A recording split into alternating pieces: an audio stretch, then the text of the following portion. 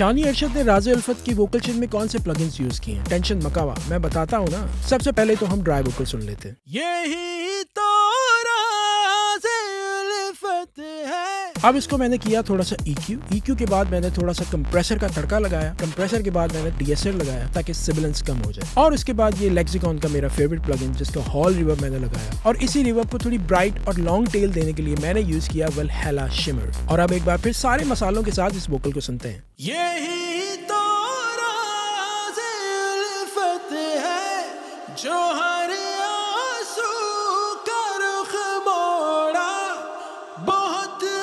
खुश है तेरे बारे में जब से सोचना छोड़ा।